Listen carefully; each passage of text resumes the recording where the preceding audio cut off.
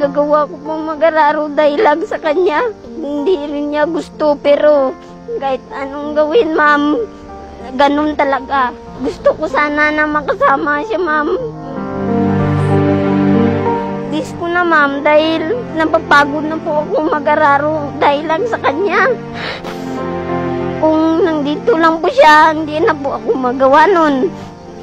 Maliit pa ako, ganito na tinatrabaho ko. Pero, sige lang, kakayanin ko para sa pamilya ko, ma'am. Masakit po sa pakiramdam na akalain mo sa ibang bata na bakit sila, dahil sila nung swerte nila, dahil may nanay sila at tatay. Tapos, inainsulto nila ang kanilang nanay at tatay. Kung ako po yun, ma'am, napakaswerte na po ako sa mundo. Dahil hindi ko, hindi ko po sinasalita ang aking nanay at tatay ng masakit.